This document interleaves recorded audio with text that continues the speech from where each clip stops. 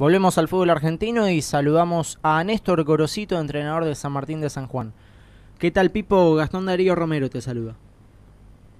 ¿Qué tal? Buenas tardes. Muy buenas tardes, ¿todo bien? Todo bien, todo tranquilo, sí. Perfecto, me alegro. Eh, ¿Hoy hubo entrenamiento, hubo descanso? No, no, arrancamos mañana, mañana. Perfecto. Hoy fue el día libre, pues jugamos otra vez el domingo en Racing. Está muy bien. Eh, ¿Qué te quedas con, de qué te quedas, perdón, del partido ante River? Eh, ¿qué, ¿Cuáles son las cosas que más destacás? No, principalmente que jugamos mejor y que, que erramos muchísimas situaciones de gol. Ya nos pasó el otro día con Belgrano también lo mismo. Sí. Terminando, terminamos eh, perdiendo en Córdoba, jugando mucho mejor que Belgrano erramos muchas ocasiones de gol y en esta ocasión nos pasó lo mismo, jugamos mucho mejor que River y terminamos terminamos perdiendo, no, no, no nos cobraron un gol en forma legal y no nos cobraron un penal completamente claro. Está muy bien. Eh, ¿Y el tema, por ejemplo, de, de la mala fortuna o, de la falta de puntería, a qué crees que se debe? No es mala fortuna, es desacierto en, en el nivel nuestro de, de juego, no es mala fortuna. ¿no? son cosas que se tienen que trabajar en la semana. Eh, es una una falta de, concreción de, parte nuestra. Está muy bien. Eh, bueno, te, te, noto un poco tal vez eh, molesto por, por lo que fue el partido y, por esto no que, que, me marcás, no solamente que erraron en, en momentos en los que eran decisivos, sino también eh, este tema de, algunos fallos. Eh, al final del partido te acercaste al árbitro, eh, ¿qué fue lo que le dijiste? Nada, eso que no medía con la misma vara para los dos lados iguales. Que lo que para nosotros es amarilla, para el otro lado no es amarilla. Y que hubo un gol completamente claro donde una donde el arquero choca con un defensor y que hay un penal. Yo eso no lo veo desde el banco, pero cuando llegamos al entretiempo que estaban ahí viendo por televisión dijeron que el gol había sido legal. Y después el penal, desde el banco sí se ve el empujón de Barbosa. Sí, sí, sí, ese... Le dije eso, que había tenido un muy buen manejo de... que había manejado muy bien el partido. Bien. Eh, también después del partido declaraste, nos pasó como a River en Bolivia.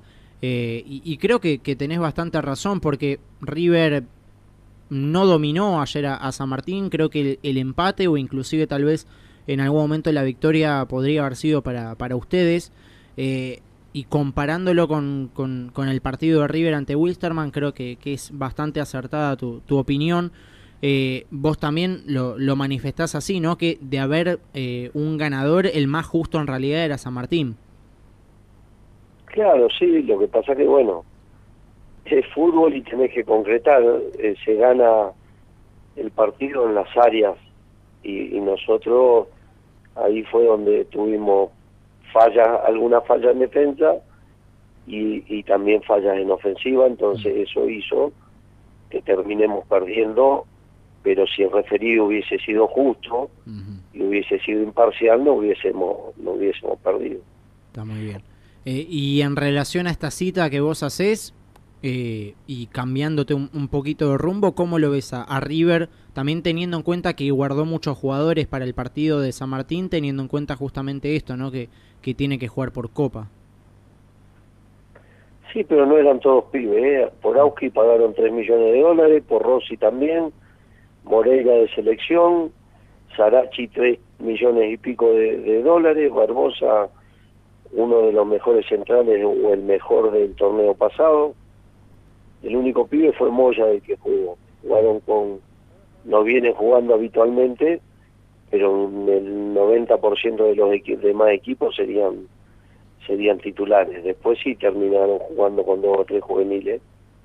Y yo creo que River le pasó en el partido de Wisterman, como dije, como nos pasó a nosotros ayer, y que River tiene muchas posibilidades de darlo vuelta cuando juegue local. Bien.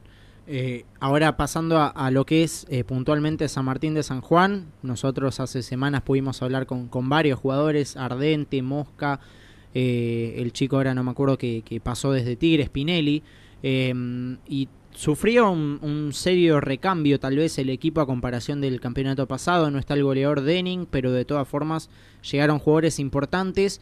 Ardente me lo ponía no en un pedestal, pero sí a un jugador eh, destacado, eh, Álvaro Fernández. Quiero saber cómo lo ves vos, un jugador que supo jugar en Argentina antes, pero que tuvo un paso por la MLS. Sí, Álvaro, un jugador, de un buen jugador, un buen mediocampista, con experiencia, excelente profesional, que de a poquito viene jugando mejor. Y bueno, Dios quiera que le vaya bien y mientras mejor le vaya él, mejor nos va a ir a, a nosotros, a nosotros, perdón. Y un excelente profesional que es muy importante. Y más allá del partido de ayer, ¿vos sentís que, que, encontraste un equipo o crees que tenés que hacer algunos retoques de cara al próximo partido por campeonato? No, bueno, siempre hay que rever las, las cosas y nosotros le decimos a los chicos, a los muchachos que el primer equipo del torneo lo formamos nosotros y después lo van a ir formando ellos de acuerdo a los rendimientos, a los que van bajando y a los que van subiendo. Entonces el que juegue mejor seguirá jugando y el que no esté bien saldrá para, para que entre un compañero. Uno tiene que tratar de, de hacer que sea una competencia sana entre todos y para eso uno tiene que tratar de poner a los que mejor juegan. Está muy bien.